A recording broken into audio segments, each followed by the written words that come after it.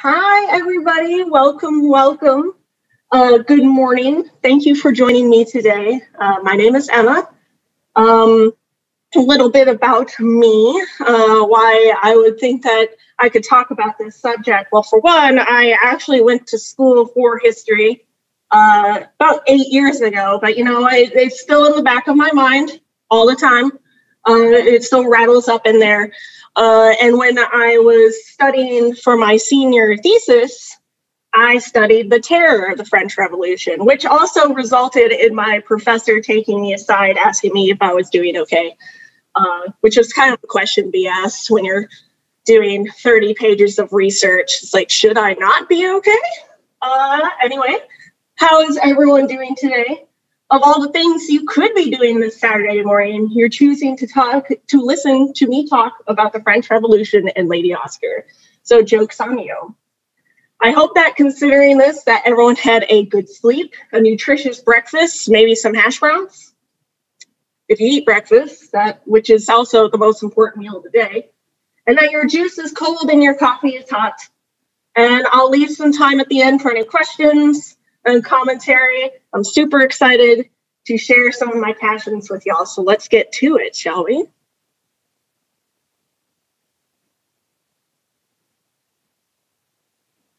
So we're going to start this discussion by looking into the series itself.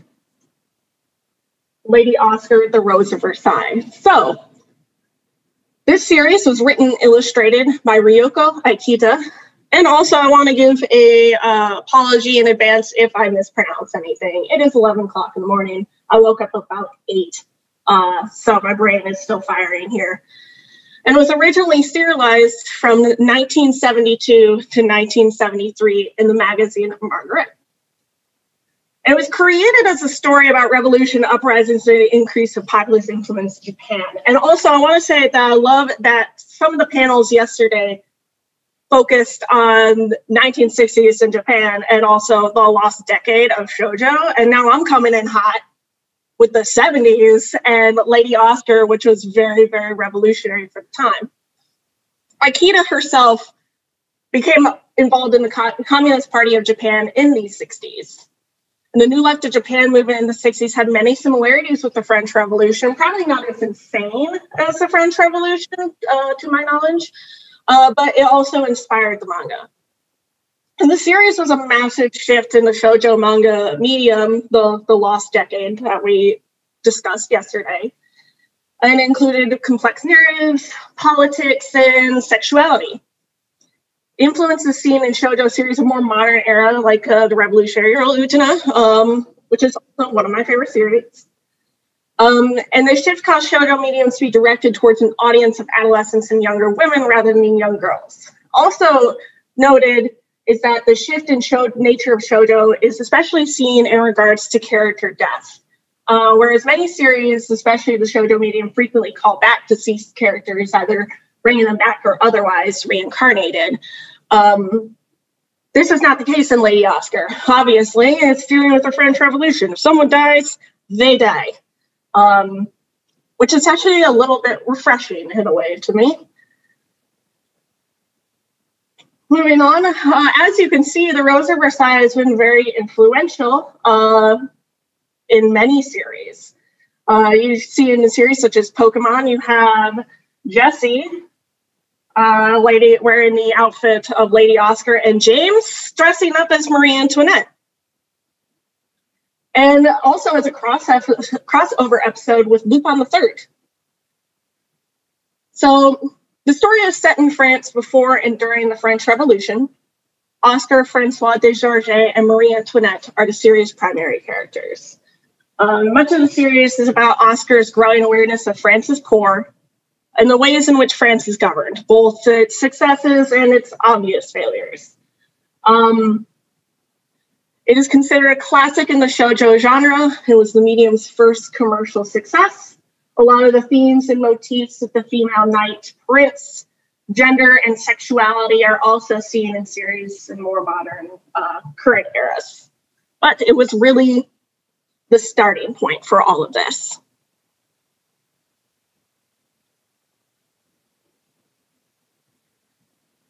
now that we have gone over Lady Oscar, let's start getting into the nitty gritty, the good stuff for French Revolution.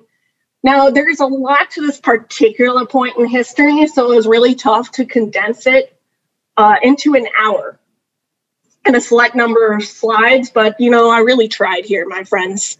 Um, really, really tried. the French Revolution spanned from 1789 to 1850. Its four phases were the liberal phase, the radical phase, the directory phase, and the Napoleonic phase. Uh, and you have your spans of time. As you can see, the shortest is being the radical, and we will get into that later, um, as that is probably my most uh, most uh, knowledge is in that part of the French Revolution. And France was bankrupt at the time during the revolutionary's beginnings. And this was mainly because repeated policies and procedures that alienated any that could have assisted with the monarchy's issues, uh, i.e., unfair tax exemptions. The economic crisis was also due in part to them intervening in the American Revolution. Also, um, some other driving forces were poverty, Enlightenment ideas, and discrimination against the bourgeoisie. Enlightenment ideas would be including the ideas of John Locke, Voltaire, and Rousseau, all writers that had very detailed ideas and reasonings as to why humans are the way that they are, and the various ways as to why they need governing. And here we have one of the most famous paintings of the time period, representing the time period, Liberty Leading the People by Eugene Delacroix in 1830. I'm sure most people have seen that painting. So now that we have the ground base for what even started this madness, uh, we are starting to see the French congregate themselves to try to make some change by first getting the Estates General together.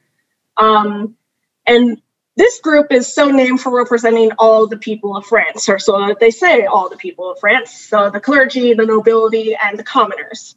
And they're meeting for the first time in over 175 years, and they take what is called the tennis court oath. And it sounds exactly what it sounds like uh, they met in a tennis court and took an oath to vote to not separate or reassemble until a constitution is established.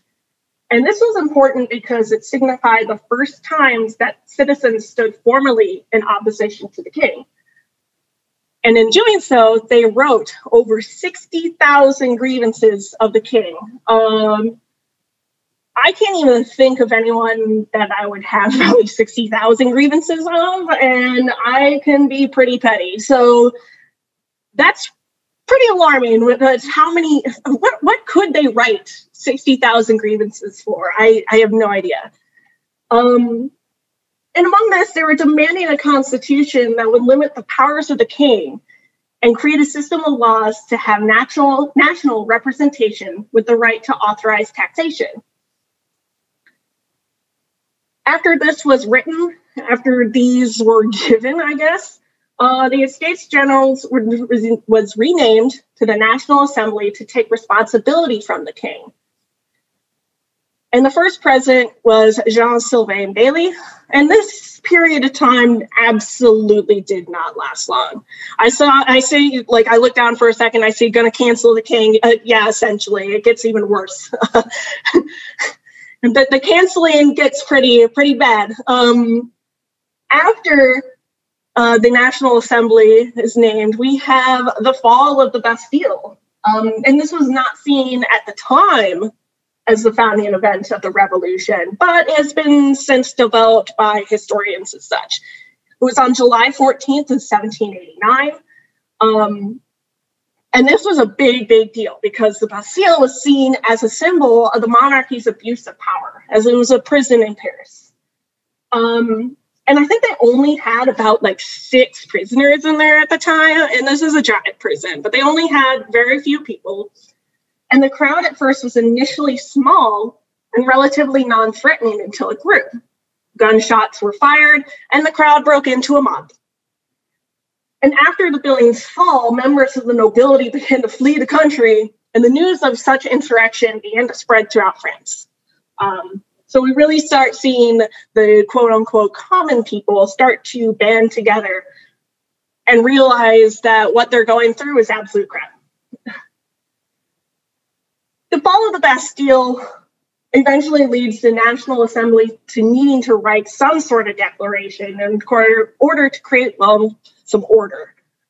What they came up with was the Declaration of the Rights of Man, which was drafted in August of 1789 and included universal male voting suffrage, but not women, and included some uh, vernacular like men are born and remain free and equal in rights, and also included laws of expression of general will.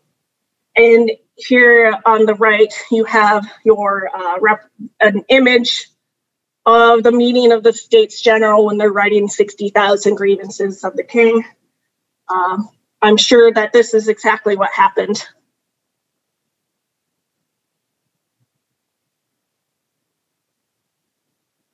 So, what began as a peaceful revolution began to spiral quickly out of control following the, fall of Bastille and the Declaration of the Rights of Man. Um, so it has seen that per that year we have a pretty significant event happen. So we have the decree banning closed religious orders and the suppression of the salt tax.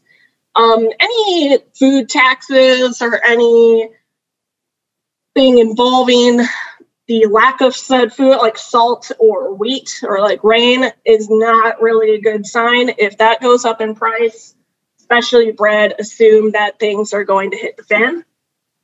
And because of all this change happening in 1791, we are starting to see a pretty important figure come into power. His name is Maximilien Robespierre. Now, Robespierre was a lawyer, and he was a fairly good one at that, but he was something of an anomaly. He wasn't particularly loud with speaking and was generally seen as a more introverted person. He had quite a few health problems throughout his life, and he stayed single. However, he was coming into power because he was adamant in what he believed in and was fairly good at convincing people. Because of this, he's, he's becoming a nat- central figure to the National Assembly and is beginning to exclude deputies and the like from the organization. And during this year, the king attempts to flee the country because he's being said canceled, but it ultimately failed and he was brought back to the people, and then the first constitution was written. However, the first constitution was absolutely more moderate and gave more rights to the king than what was desired by um, most of the people of the country, and thus more state changes were seen to as being needed. And then the 17, in 1792, the National Assembly becomes the National Convention. And we are quickly moving into the radical phase, where the proverbial crap hits the fan. Here are some more images. We had The Storming the Bastille by Jean-Pierre Polnareff with an asterisk, not to be confused with this guy, Jean-Pierre Polnareff of JoJo's. Uh, we have an image of the tennis court oath, and also a really good uh, image to kind of show how the three estates worked. Uh, different levels of French society before the revolution. So you have your third estate, which is the most common and the biggest portion. So everyone else is peasants. Uh, they're poor. They farm the land. You have your second estate. That's your nobles, the rich. They fight for king. You have your first estate. That's the clergy. They're rich. They pray to God. And you have the king who is appointed by God. He is very rich. He rules over everyone. I liked that image because I think with a lot of people, when they see the three estates, that they might think that it's pretty even, like 33, 33, 33%, and that's just not the case. So as mentioned previously, we are moving into the radical phase. And here is where you have John Mulaney saying, I try to stay optimistic, even though I will admit things are getting pretty sticky. Because in around August 1792, King Louis XVI, he's in prison after that failed escape from the country. And then eventually he is condemned to death in January 1793. And the king's trial was barely even a month long. And the changes of the revolution had made capital punishment equal for all, even the monarchy. The king was charged and tried for high treason, which, considering its severity in criminal law, would likely take longer than a month to convince someone of, considering all the general constitutional requirements for a treason conviction. But they didn't care about that. They're like a month long, whatever. Uh, obviously, not a failed trial. How much of a trial do you need if there are 60,000 charges against you? Listen, those are grievances. those were just uh, hot takes against him. Uh, but, you know, maybe they used that in court. And in April 1793, the Committee of Public Safety is created. And I love that name, uh, Committee of Public Safety, because they are really what started all of this madness. And it really was not safe at all. However, Maximilien Robespierre is named its leader. And it was formed as provisional government in France and contained many differing ideological factions um, that we're going to see below. And the new constitution was proclaimed in 1793 of June. After that, after that new constitution, the reign of terror begins. this is where we get fun. Those ideological factions that I said mentioned before, originating from the revolution itself, they're quickly turning on each other. And this is causing a political purge. You have your left wing factions, which are radical and moderate. And you also have right wing factions, which are the monarchists and conservatives. Those, the right wing factions, those were the first on the literal chopping block. Um, which, man, that's a pretty dark thing to say. so, what was Robespierre's endgame when it came to starting the terror? He wanted a republic of virtue. Um, he wanted to completely replace the old regime, and this would be done by a complete overhaul of societal norms at the time. Like I said, he truly believed in what he was doing. He was following the works of Rousseau's social contract, which said government should be an instrument of the general will and not built on individualism. And this applied with the fact that all capital punishment was equal for all. You're not an individual, everyone can get killed by the guillotine.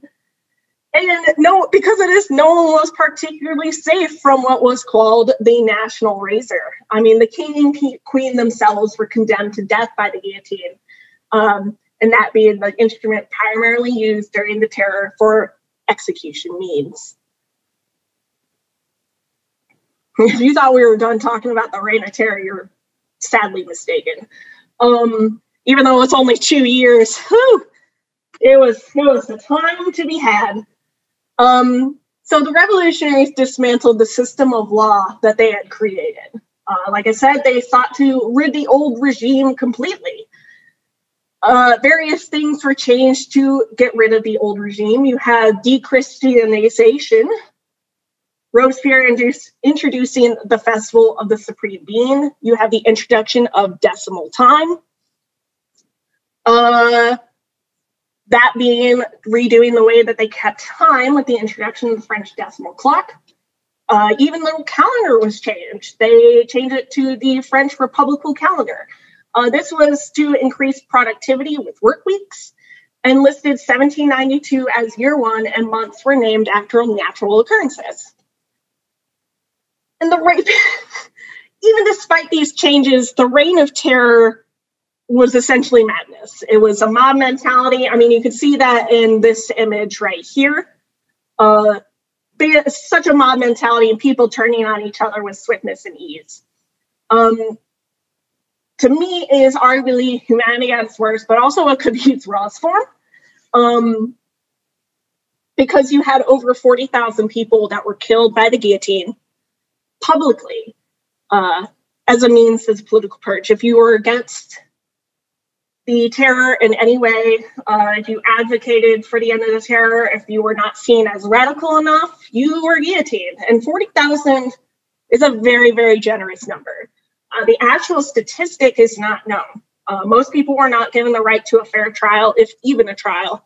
Uh, they were just executed. And the terror ended between July and August with the biggest turn of the century, Robespierre being himself executed. he kept pushing for more and more people within the community itself to be committee itself to be condemned to death, citing that these people did not believe or want the country of France to progress in the way that it should. And people had enough of that point. so they were like, get rid of this man. get rid of this baby man. All his photos, he looks ridiculous. Like he just looks like a small baby man. so it's like, how did you create such madness in such a short period of time. But they they had had enough at that point, and then we see the end of the terror. Wait a minute, he's he's sus, yeah. Being that the series doesn't go beyond 1794, we'll only briefly touch on the latter phases. Uh, these being the Directory phase from 1795 to 1799, um, and the Napoleonic phase from 1799 to 1815. Uh, so you have your directory phase, and the directory replaces the National Convention, and a new constitution is adopted. If you're keeping track, I believe that is three or four at this point. Um, I've even lost track. Like when I was doing my research, I lost track of how many times things changed. It's like no wonder it was madness because what was happening? The new constitution called for an upper and lower house of parliament based on the British and American models of government, and an executive directory of five members. And this was put into effect in 1795. However, grain supplies are exhausted and food riots are common. Like I said, once grain is out, if it rises in price, it's it's madness. And then we're starting to see the rise of Napoleon Bonaparte, uh, who was named commander in chief of the Army of Interior, and eventually named commander of the Army of Italy after beginning a campaign of, campaign of victories in Italy and Austria. A reminder that Austria was previously in a peaceful treaty with France until after the death of Marie Antoinette. And we will get into that when we talk about the characters. Um, Bonaparte is such a big part of French history. Uh, I mean, with that painting right there, you could see him from space. Uh, I don't know anybody alive that could wear an all orange outfit, but there's Napoleon Bonaparte doing it.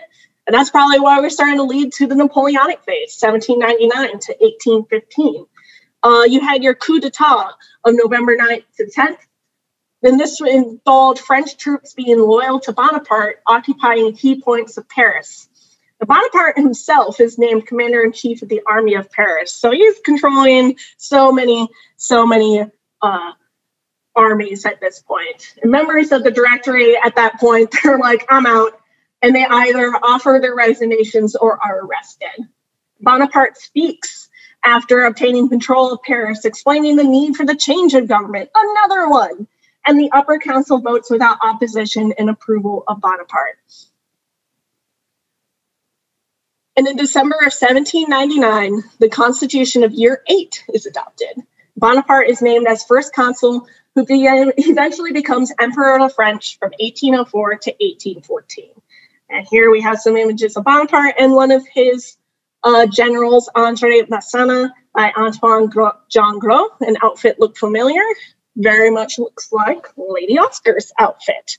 Uh, I did see a comment uh, being emperor just so no one can critique, critique your outfits. Yeah, I mean, that's a pretty valid reason. so now that we've gone over the French Revolution in an incredibly, incredibly rapid time, uh, we're going to start getting into the characters of Lady Oscar. We're going to talk about whether they are real or fictional. Starting with Oscar Francois de Jarjayes, who is the bodyguard to Marie Antoinette and commander of the Royal Guard. Oscar is based off a French general under Napoleon Bonaparte, who also took part in storming the Bastille, and his name is Pierre Augustin Hulin. Um, and as I mentioned before in the last slide, we had that general looking very dapper in his uniform, and that uniform being very similar to Oscar's. And that would be probably, to me, one of the petty petty inaccuracies that I noticed in the series and very picky details. Oscar's uniform is actually seen more in the Napoleonic era uh, and not the early French Revolution. But that's just a nuance.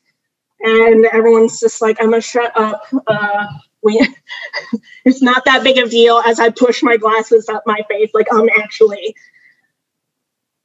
So Oscar is fictional, but she is based off of a real person. She is the main character of the anime. She's not the main character of the manga, but we see it through her eyes. Um, like I said, a lot of the story is her noticing the failures and the successes of the monarchy at the early parts of the French Revolution and during. And like I mentioned, she's the bodyguard to Marie Antoinette. Marie Antoinette is married to Louis XVI to seal an alliance between Austria and France and eventually becomes the Queen of France. And she is very much non fictional. Uh, Marie Antoinette is 14 when the series begins. And consider this when you think that she was married off to seal an alliance. Uh, 14 14 is very, very young. Now I had my first boyfriend at 14, and that, that would have been bad for everybody. The series does seems to humanize her more than many of other depictions in history. Because and in I like it because in The Rose of Versailles, she's generally depicted as an unremarkable person who just has an accidental encounter with fate. Um, whereas history often paints her as an insensitive and non caring royal.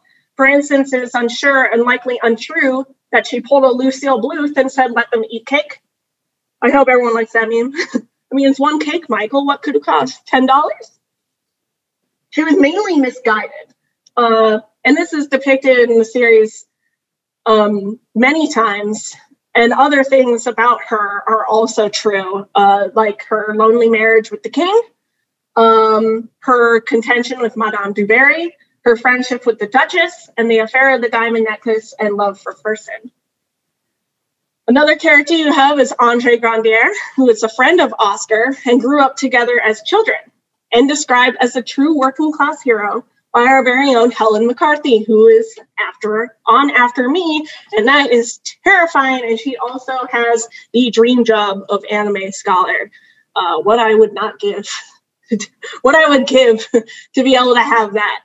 Uh, he is fictional. He is also used to drive the story, much like Oscar is. Um, and then they end up professing their love and yay, and it doesn't end up as a yay. but I don't want to spoil much of the story. Most of what I'm going to talk about can't be considered a spoiler because it did happen in history, but I won't get into a lot of the parts that were used to drive it uh, that weren't real. You had Rosalie Lamorliere. I took six years of French and I'm hesitating to pronounce these. Uh, she is the adopted daughter of Nicole Lamorliere and is helped by Oscar. She is taught the art of fencing and courtly skills, uh, developing a love for Oscar, and she did serve the queen as a servant. Um, Rosalie does narrate the end of the series of the French Revolution uh, to conclude the story, but is actually unknown in history what she looked like. I have this image right here um, that is believed to be her, uh, but the only portrait of her that is known to be painted has been lost. And the other painting right here was done in the 19th century by Tony Robert Fleury, and he had never actually seen her. Um, so I don't really know how this man could have painted that, but whatever. He was just going for it. He was going for it, and I respect that.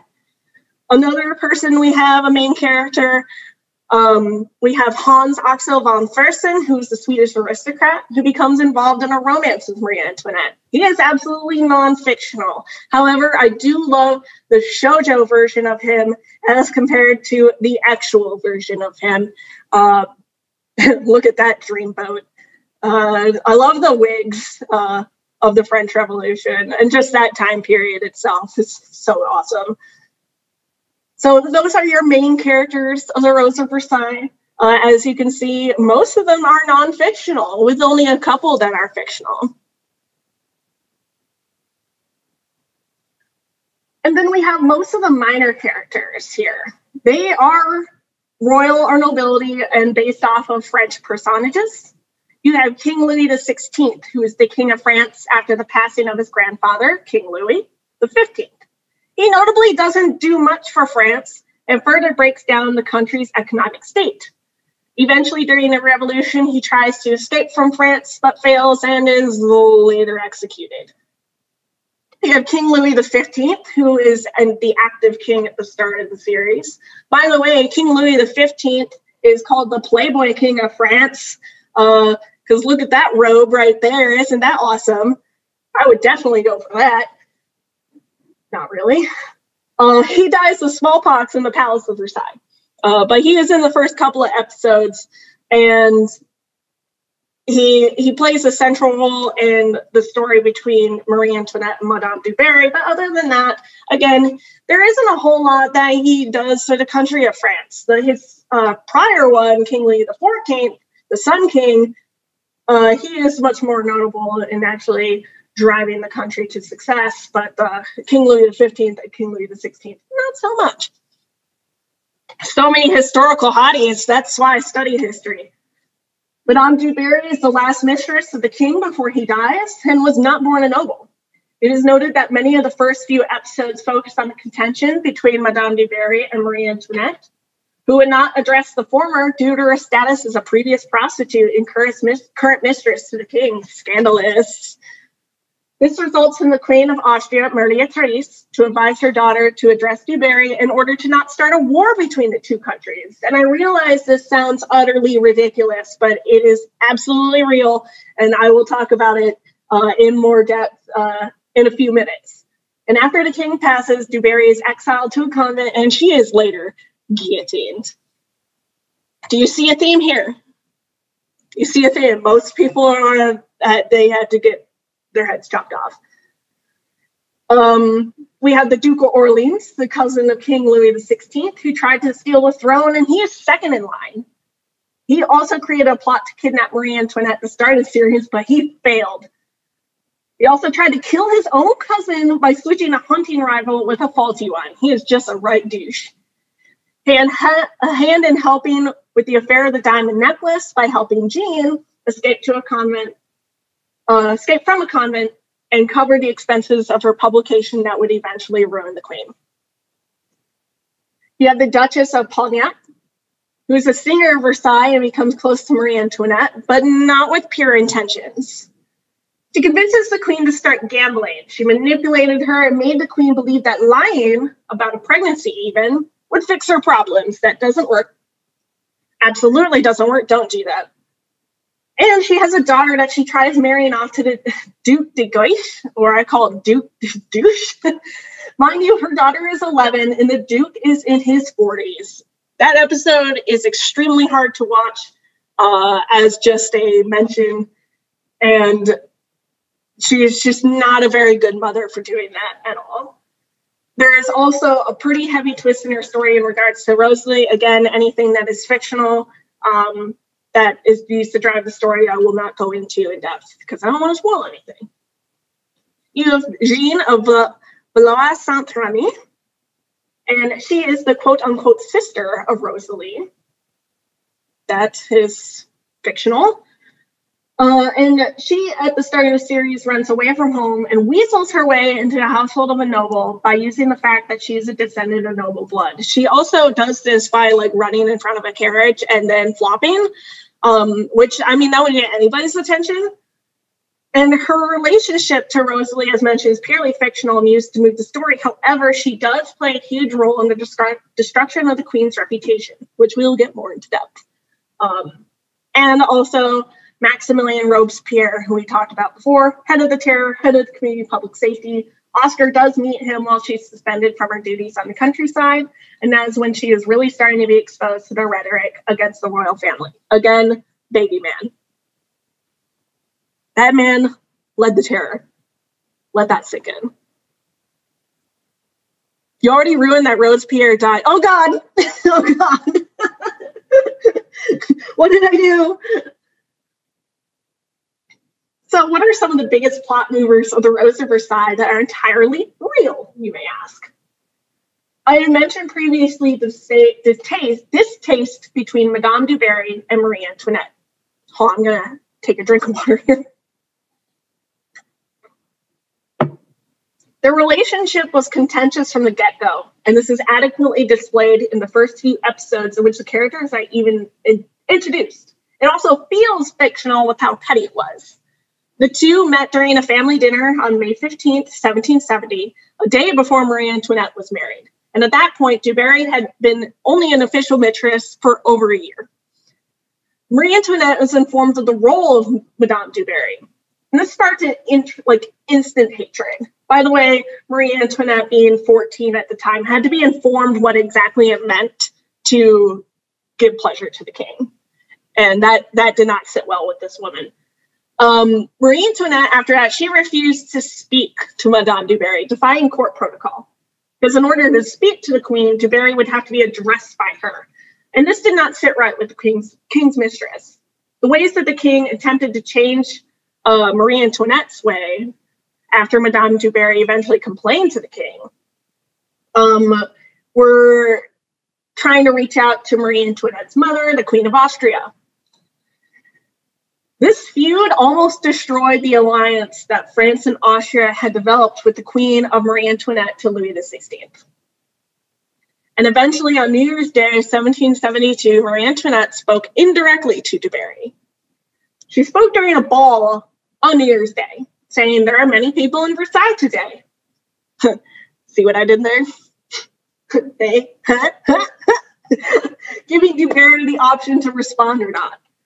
This ends up in a lot of emotional turmoil depicted in series for Marie Antoinette, who feels as though she compromised her morals. And the two women, even so far as to try to bring Oscar's mother into the fray, naming her as the lady in waiting to either the mistress or the queen. Whose Oscar mother chose to play this role would also show Oscar's alliance, therefore involving her into the feud. Because at first, Oscar was like, I'm just going to watch what, what, what happens here. And then that happens, and Oscar is literally like, I just came here to have a good time, and I'm honestly feeling so attacked right now. These episodes feel very shoujo series esque.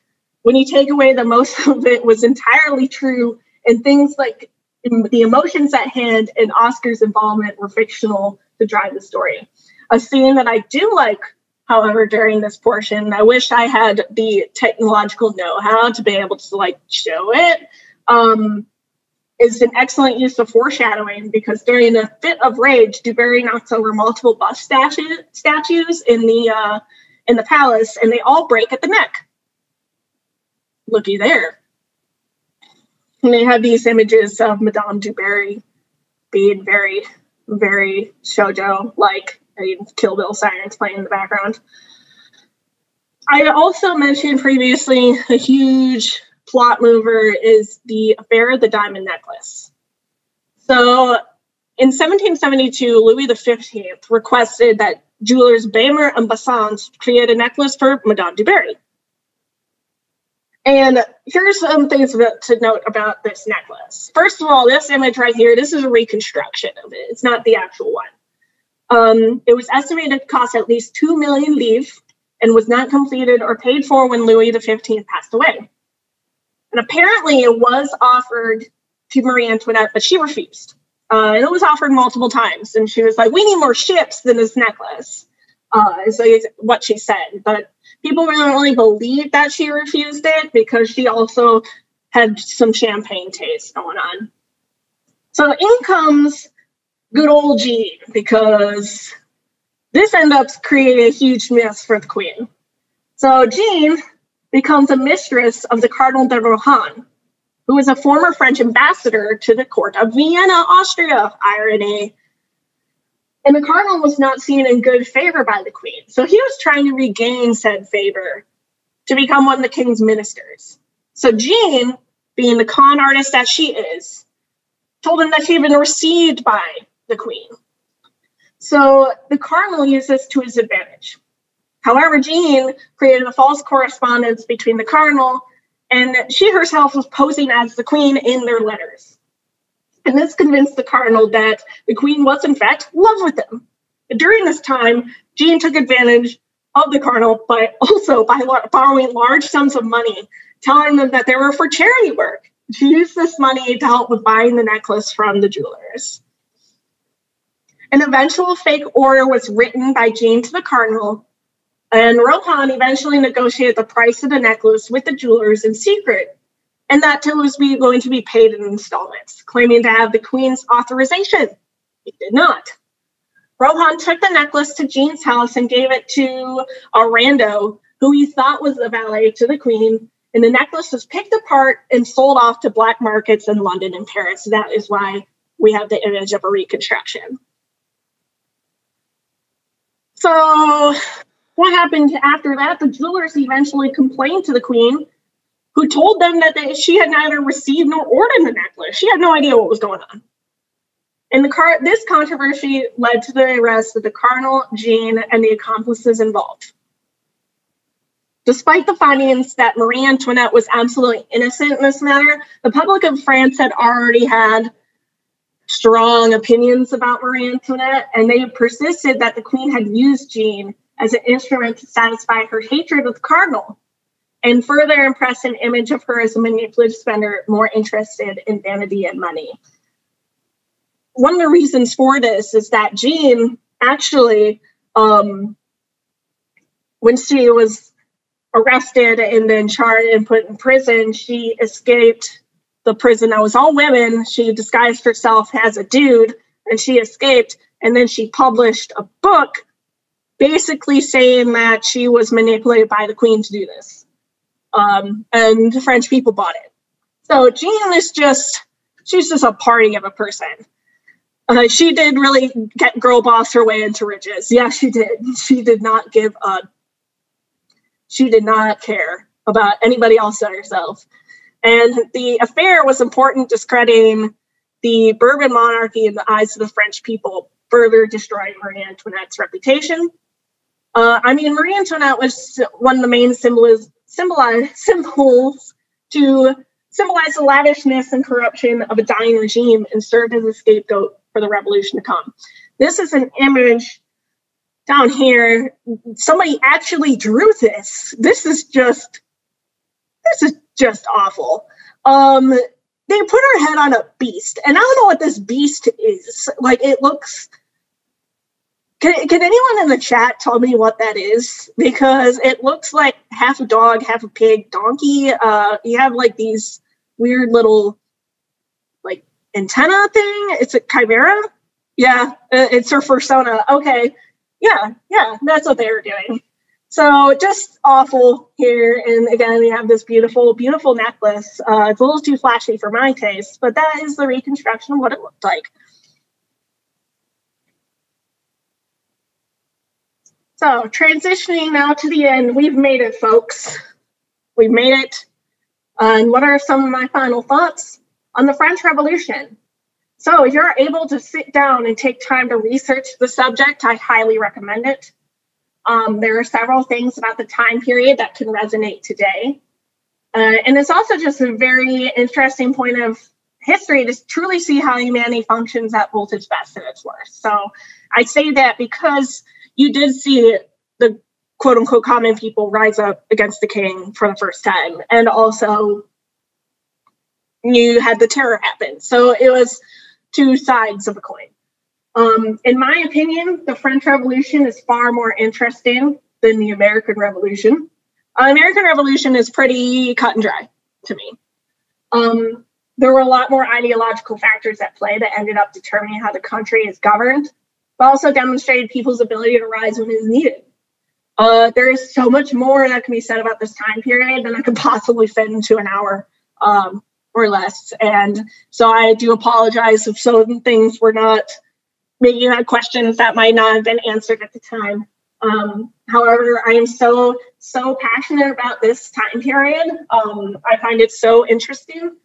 So please reach out if you have any questions or if you are interested into researching more uh, and would like any recommendations on books, videos, etc.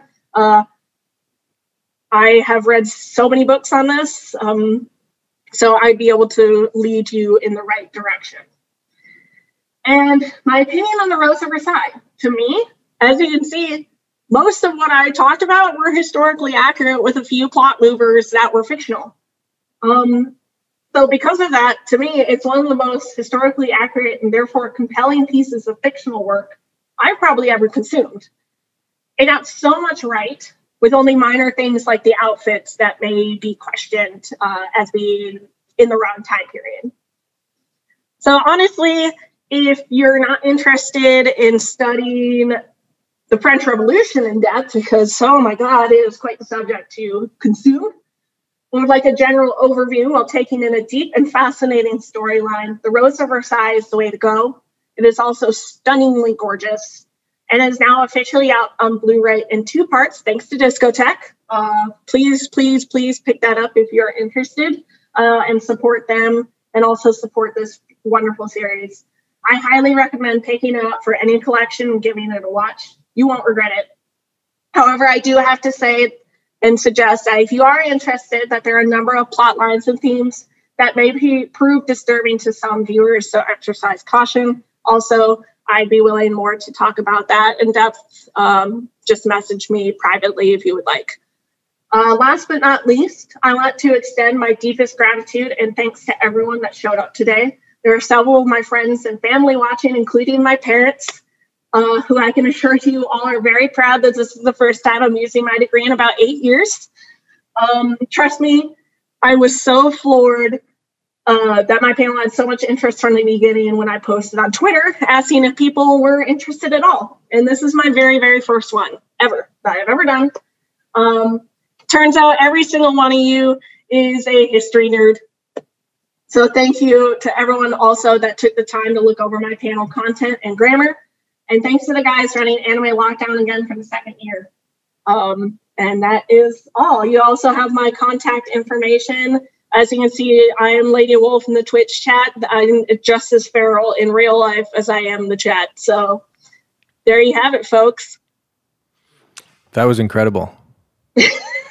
Thank you. So, am I to understand that you wrote this panel for Anime Lockdown, or did you just have it and you were waiting for the right time? I wrote it for Anime Lockdown. Actually, there is kind of a story about this. I um, posted on Twitter to see if people would be interested in it.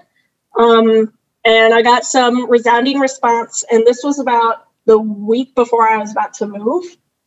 And I started writing it. Then I moved from my apartment to my condo, and it was a nightmare, oh. nightmare move. And I'm working on it. I submitted my panel the day I moved. Oh, geez. Like 11:30 and it wasn't even finished. So I have been working on it pretty much ever since, trying to get it where I want it to be. So yeah, it was about a, a three week long uh, piece of work, and I, I'm really happy with how it came out. You, you wouldn't be the first panelist to finish their panel right before they go on, so I wouldn't feel too bad about that. Which I should know better than to do that. I was like, you know, I, it took me months to write that thesis. Why am I doing this? there, uh, are many instances of me in the hotel right before my panel finally putting my slides together. yes, I usually do it. Like yesterday, I messaged my friend Drew, and I was like, not me trying to put my like contact information on there because I forgot it. um, did you want to see if the chat had any questions? You have about ten more minutes. Yeah, um, of course. Um, please let me know if you have any questions. I'll try my best uh, to answer them. I'll give it a couple seconds to catch up to the yeah. Twitch delay. I Do my parents know about my hash brown crimes too? No, but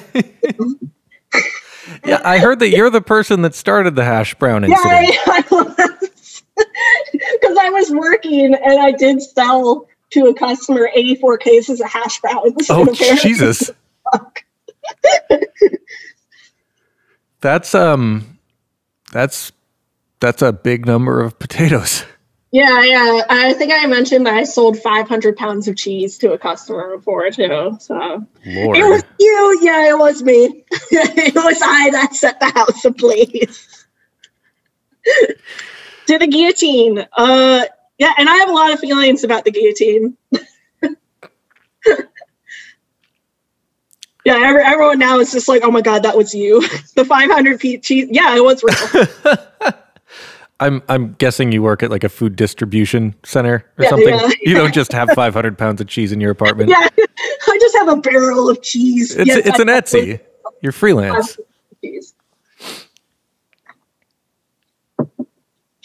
assume when I say it, like if it's ridiculous, if it sounds ridiculous, assume that it's real. That's why you had to move. You had too much cheese in your place. Yeah, yeah. I had to get, uh, get the condo to store the food. Yeah, and honestly, I probably just bought my condo for my cat and my dog. Nice. Wait, is it one dog? I thought you had two dogs. Did I misunderstand? I I, I have two dogs, uh, but my black Pomeranian she lives with my ex. So ah, got you. Yeah. There's so much cheese in Versailles today. Uh, tell Thomas and Dapper Lad we all say hi. Dapper Lad, his name is Cranston, but he says hi, and he yeah, he looks very dapper with his tie. Yeah, if if you're not following Emma on Twitter uh, there's a adorable picture of a fluffy dog wearing a tie. and if you're not following me on Twitter and you decide to do so, I apologize. well, I like I, am unhinged in literally every single social media. well, you fit right in. he is a good pup. Uh, both both my dogs are very good. Any other works you want to dig into the historical context of? Um, I actually did. This is going to sound funny. I did when I was like 17 years old. I did a paper on the historical context of Hellsing. Oh, nice. Uh, with like um, which was my first like favorite series other than like Inuyasha. Uh, Hellsing was it for me when I was like 14. So I wrote a paper about um, the all the background between the Protestant and Catholic like struggle.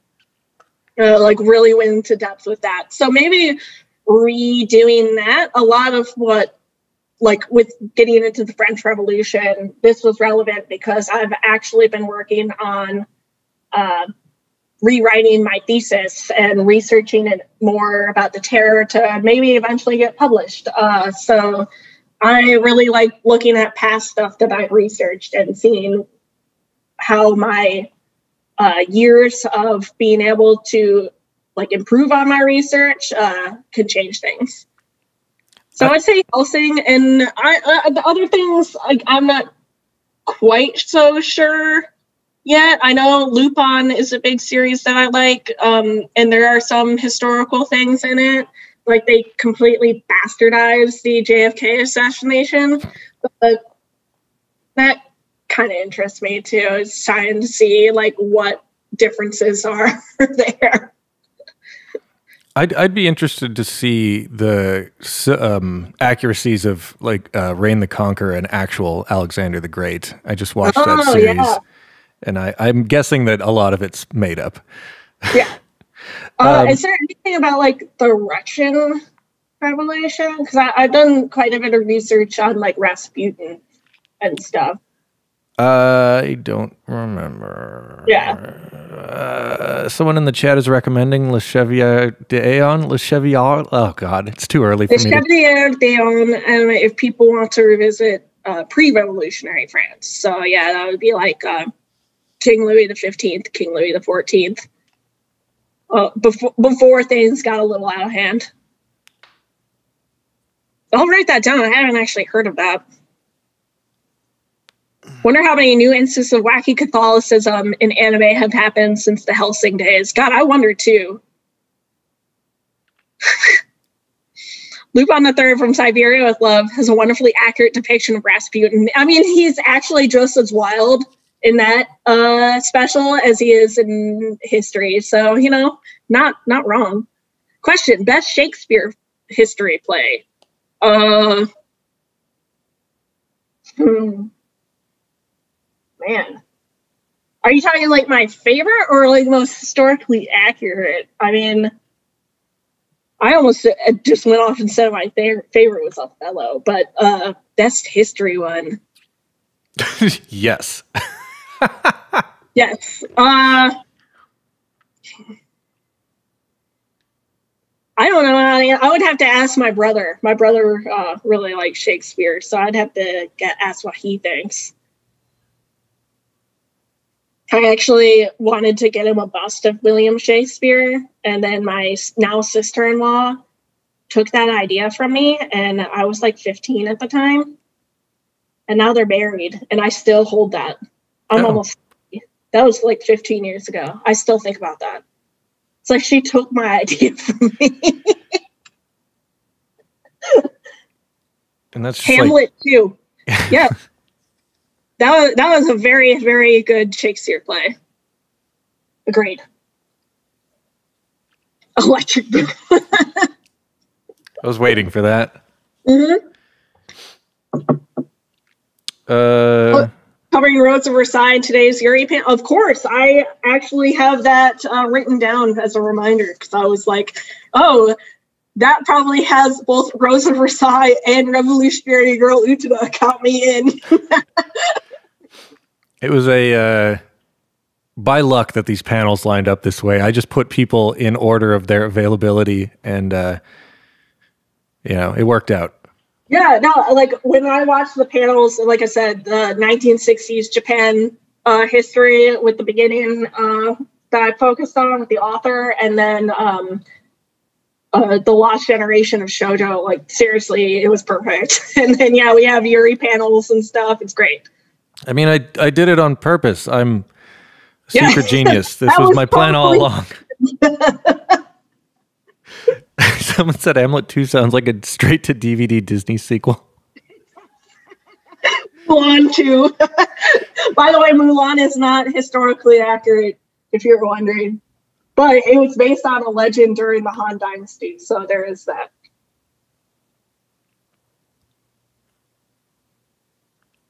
Well, we've got a couple more minutes. Um, if you want to hang out, you're welcome to. If you want to uh, peace out a couple minutes early. That's it's up to you.